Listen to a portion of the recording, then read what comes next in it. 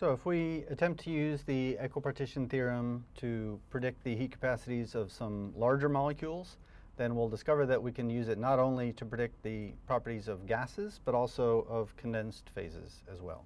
So we've seen that it works pretty well, the equipartition theorem works pretty well to predict the heat capacity of monatomic molecules, diatomic molecules. So let's go one step larger and consider a triatomic molecule. So we'll use water as our example, gaseous water to begin with. So let's do what the equipartition theorem tells us to do, which is to count the number of quadratic degrees of freedom. We can break those up again into translational, rotational, vibrational degrees of freedom.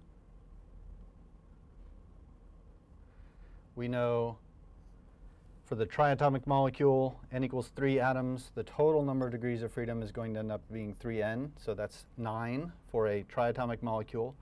As always, there's only three ways the, the molecule itself can move around translationally in x, y, and z. To count the rotations, we have to ask ourselves, is that a linear or a nonlinear molecule? Uh, the, the structure of water, of course, has the, the bent geometry, so it's not a linear molecule. The atoms are not in a straight line. So nonlinear molecules have three different rotational uh, degrees of freedom. I can rotate that molecule just to make sure we understand those rotations. If this is my HOH molecule, I can rotate it around the z-axis, I can rotate it around the x-axis, or I can rotate it around the, the y-axis. So there's three different ways I can rotate that molecule. That leaves, in order to add up to 9, that leaves three different vibrational motions.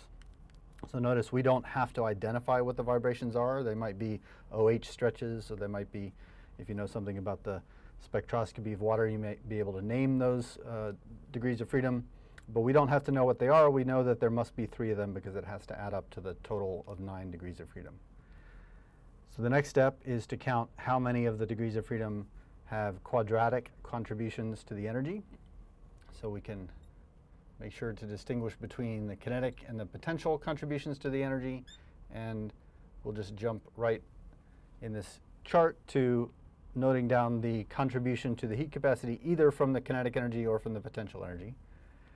Kinetic energies are always quadratic, whether it's 1 half mv squared or 1 half i omega squared. Kinetic energy is always quadratic, so that each of these three degrees of freedom contributes 1 half r. Each of these rotational, and each of these three vibrational degrees of freedom, they all contribute 1 half r, with the caveat that the vibrational degrees of freedom only contribute if we're hot compared to the vibrational temperature, if the vibrations can be treated classically. The potential energy, when a water molecule translates around a box of gas molecules, there's no contribution to the potential energy. When it rotates, there's no contribution to the potential energy. So those are not quadratic degrees of freedom, and they don't contribute to the uh, heat capacity.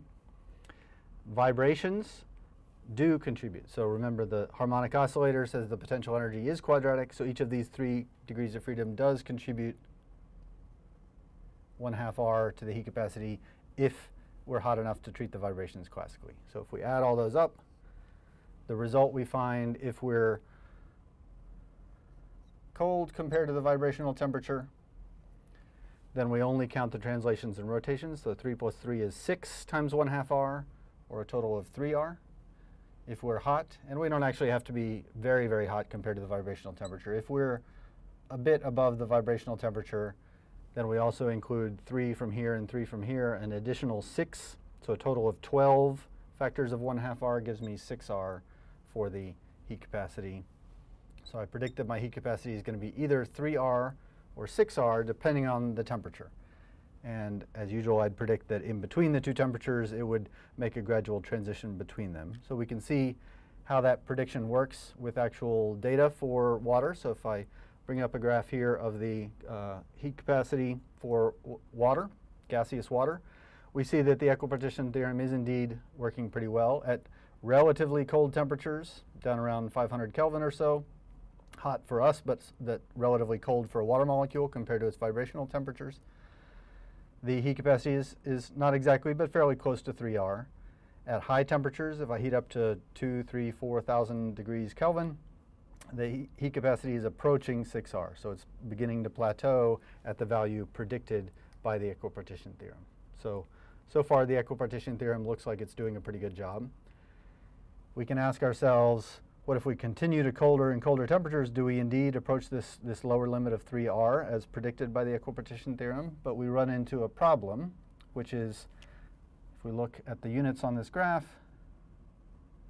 the temperature at which I've stopped plotting the data here, that's down a little bit below 500, a little bit below 400 Kelvin. In fact, this point is 373 Kelvin, which once I phrase it that way, that may give you a hint why we don't have data for gaseous water below 373 Kelvin. Below 100 degrees Celsius, when we're at one atmosphere, we don't have gaseous water, water condenses to form a liquid because that's the boiling point for liquid water.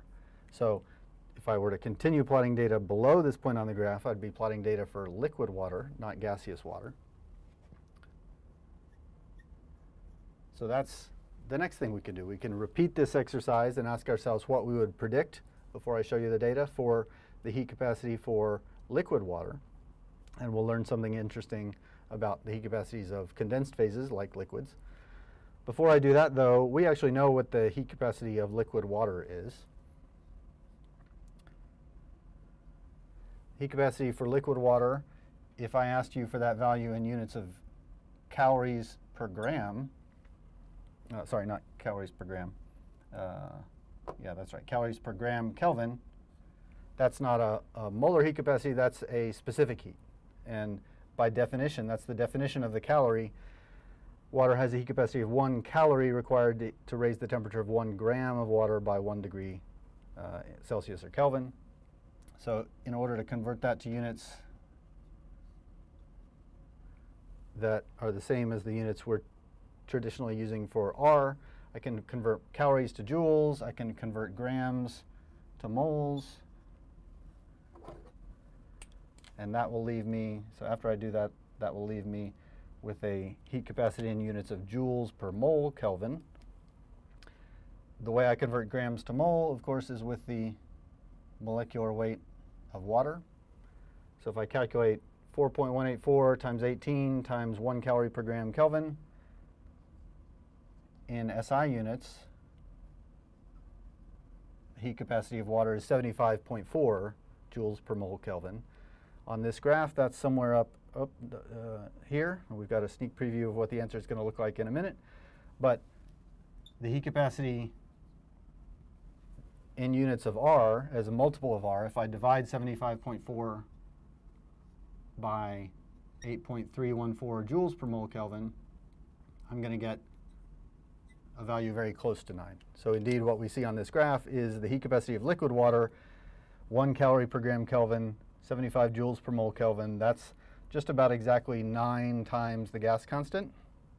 It varies a little bit with temperature, as you can see here, but the heat capacity is nine times. Somewhat surprisingly, perhaps, it's larger than the heat capacity of the gas, and it jumps up to about 9R. We can actually use the equipartition theorem again to tell us why the heat capacity is 9R. So let's do a chart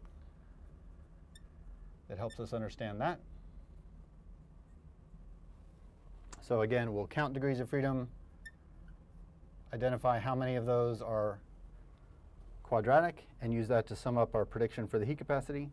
We still have three translational, three rotational, three vibrational degrees of freedom for a total of nine. The kinetic energy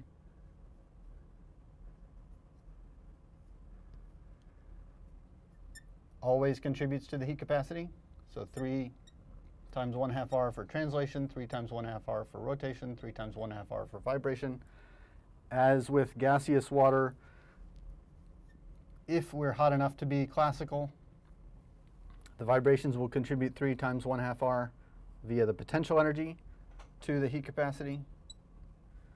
The difference comes when we think about the potential energy. So think about what a box of liquid water, a sample of liquid water looks like relative to a sample of gaseous water rather than one gas molecule far away from other gas molecules in the liquid, what we have is, let's say, a water molecule, and we know that's hydrogen bonded to another water molecule. Hydrogen bonds connecting these molecules. So this water molecule is surrounded by another water molecule and surrounded by another water molecule. It's a condensed phase, so the molecules are, are close together. So when I ask the question, do the translational degrees of freedom contribute to the potential energy of the molecule? In the gas phase, that was no. When this molecule translates around, its potential energy doesn't change. But if this molecule changes its x or y or z position, it does change its potential energy because it begins to break these hydrogen bonds. It begins to bump into other nearby water molecules. So as that molecule moves around, potential energy was relatively low at the position where it was, that if it moves to the left or if it moves to the right, the potential energy goes up. So even without knowing what the exact equation is for how that energy varies as its position changes. I know it's going to go up in, as it moves to either direction because it was at a relatively low energy position where it had chosen to be. So this does, it may not be a perfect quadratic, but near the bottom of this potential energy well, it's going to behave quadratically. So those are indeed at least approximately quadratic degrees of freedom, and each of those three translational degrees of freedom contributes one half R to the heat capacity.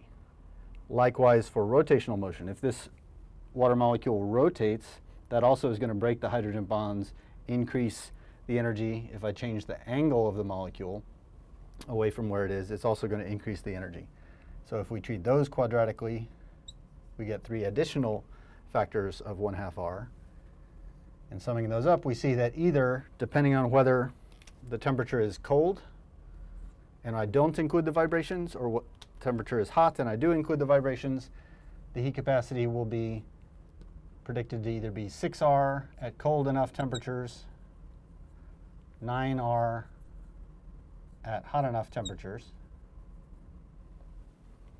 And if we compare that to the data we actually see for liquid water, we see that the heat capacity of liquid water, liquid water is in fact 9R. So the actual experimental observation is that even at room temperature, colder than the temperature where water's, gaseous water's vibrations had stopped behaving classically, liquid water is behaving fully classically. The translations, the rotations, the vibrations are all contributing to the heat capacity, and we see a heat capacity of close to 9R. So that tells us two important things.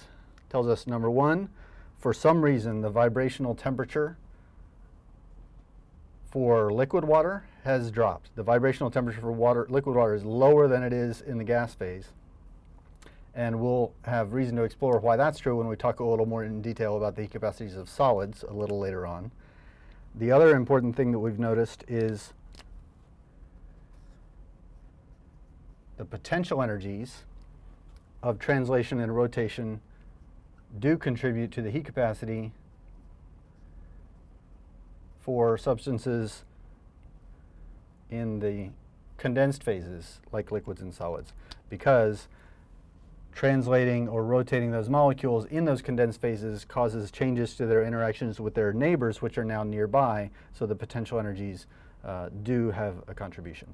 So if you're careful about keeping track of what temperature you're doing these calculations at, and careful to keep track of what uh, uh, phase you're in, whether you're solid or liquid or gas, you can make a relatively good prediction about the heat capacities of a variety of substances using the equipartition theorem.